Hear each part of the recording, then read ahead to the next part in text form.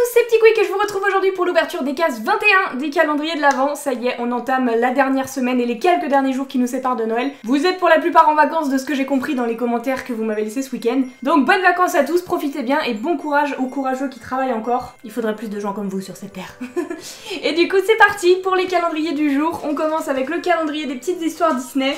Alors, je sais pas ce qu'ils nous ont fait hier à nous mettre encore une énième histoire de Cars. J'espère qu'aujourd'hui on va avoir au moins un Disney nouveau ou à la limite un deuxième sur un dalmatien, je dis pas non. Juste parce que c'est mon coup de cœur. Mais bon, on a les mondes de Ralph. Très bien, très très bien. Ça peut être grave sympa, ça adapté pour Noël. Le Noël de Ralph Lacasse. Oh, c'est trop mignon. Là, voici la petite histoire du jour avec Ralph. Félix là qui est ici, on a vu Vanellope aussi sur la couverture, c'est génial, oh c'est trop mignon. Encore une fois, les illustrations sont magnifiques. Et je pense que la petite histoire l'est tout autant. Très bien, le monde de Ralph, je m'y attendais pas du tout et je trouve ça super original, donc euh, c'est super, j'adore. On continue avec le calendrier Dragon Ball des Pocket Pop. Le prono de Maelo, ça a été le père de Chichi qui nous a dit hier. Bah écoutez, je n'y crois absolument pas, mais voyons voir. Ce qui se cache derrière cette petite case, le sachet est ici, et du coup, il s'agit pour aujourd'hui de...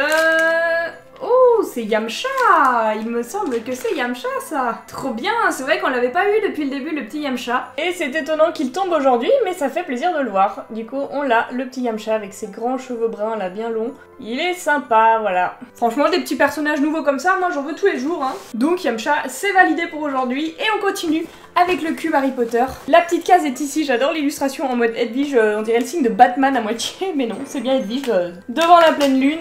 Et du coup, oh, c'est... Ah bah oui, c'est un porte-clés d'Edwige, du coup je croyais que c'était Voldemort, je me dis Voldemort on l'a déjà eu en figurine. C'est Edwige Oh mais non, je meurs, elle est beaucoup trop mimes. Elle est pas exactement dans la même matière que tous les autres, elle est un petit peu plastique. Mais sinon, c'est une petite boule toute mignonne comme ça. Bon, elle fait un peu la tronche, Edwige, là, elle a l'air un peu vénère, mais elle est trop mimi. Je m'attendais pas à l'avoir en porte-clés, parce que pour le coup c'est pas un personnage vraiment humain, et euh, en fait ils ont fait aussi, vous me direz, on a eu Nagini. J'allais dire, ils ont fait aussi des animaux, mais effectivement, Nagini, Edwige, Très bien, très très bien, c'est cool. Ensuite, le calendrier des gommes. Qu'est-ce qu'on va avoir pour aujourd'hui? Eh bien, découvrons-le dans la case qui est, qui est, qui est juste ici. Voilà, case 21, c'est ici. Je sens que ça va être cool aujourd'hui, je sais pas pourquoi, je sens un truc stylé. Alors, c'est très dark, très très dark peut-être un méchant, et ouais, c'est maléfique. Tadam, la voici, elle est beaucoup trop stylée par contre. Même en petite gomme mignonne comme ça, elle fait un peu peur. La voici d'un peu plus près maléfique, elle est incroyable avec ses deux petites cornes là. Trop bien, elle est géniale. Et ça fait plaisir de voir un petit peu de vilain là dans ce calendrier euh, des gommes. C'est déjà la troisième qu'on a après Cruella et Ursula. Donc c'est super. Et au moins c'est un calendrier qui nous fournit des vilains, pas comme celui-ci qui est censé être un calendrier de vilains et en fait euh, on n'a pas grand chose qui s'apparente aux vilains, euh, de loin en tout cas. Mais bon, c'est pas grave, la case elle est là pour aujourd'hui, case 21. Et ça m'a l'air d'être un format crayon encore, donc crayon à papier, stylo, voyons voir ça tout de suite.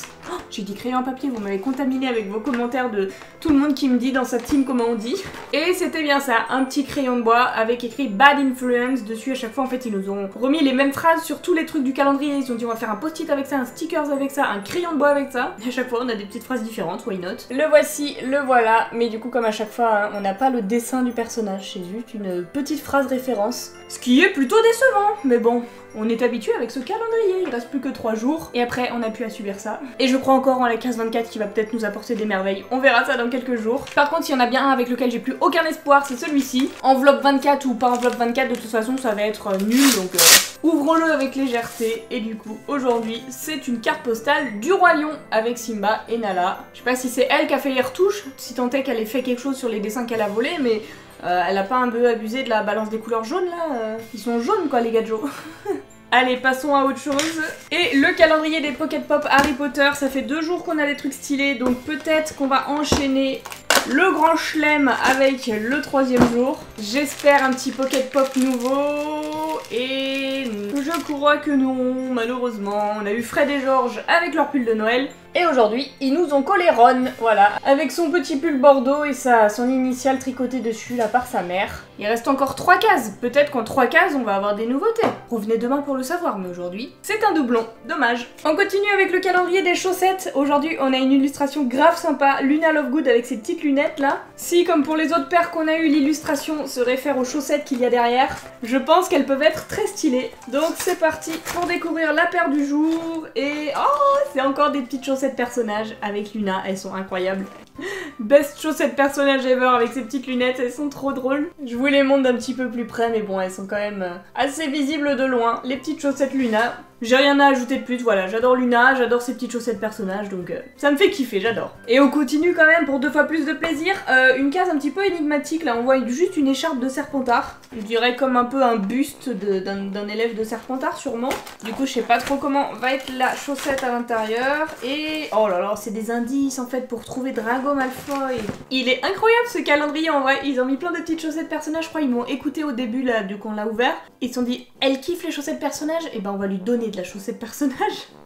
Trop bien, du coup on a eu Luna et Drago, forcément, on aurait pu s'en douter. Là on retrouve ce qu'il y avait sur la case, l'écharpe de Serpentard qui va très très bien à Drago Malfoy.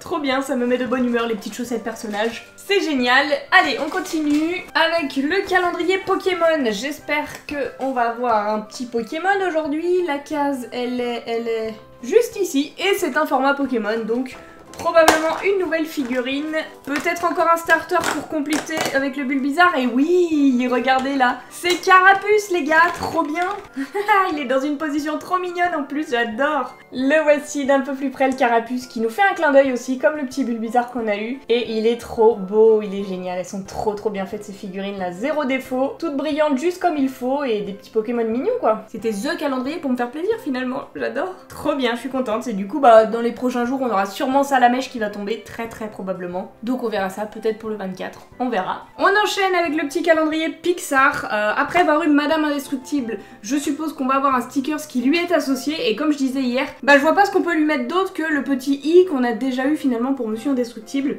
La case est très grande donc probablement deux stickers, peut-être leurs enfants, je sais pas. Allez voyons voir.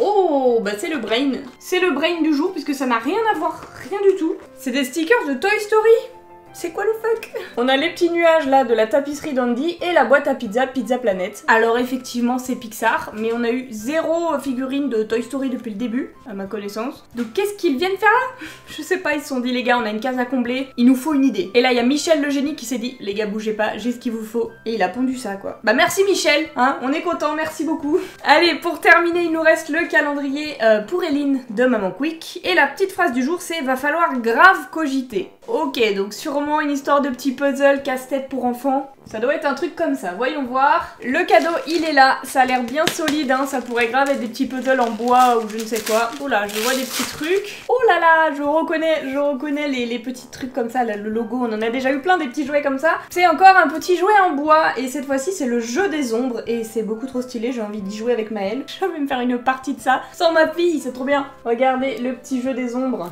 Bon, je vais peut-être pas vous expliquer le principe, c'est assez simple à comprendre, mais euh, c'est très très cool. Non, franchement, ça, je savais pas que ça existait euh, en format en bois comme ça, où ça ressemble à un petit mémo, mais un peu plus compliqué. Donc c'est super, on a un peu de tout là pour jouer avec des beaux jeux en bois. Encore un super cadeau, merci maman. Et du coup, voilà, on a ouvert tous les petits calendriers du jour, donc j'espère que vous avez kiffé comme tous les matins. N'hésitez pas à me dire dans les commentaires quel est votre calendrier préféré, et sur ce, on se retrouve dès demain pour l'ouverture des cases 22. En attendant, je vous fais d'énormes bisous, et je vous dis à demain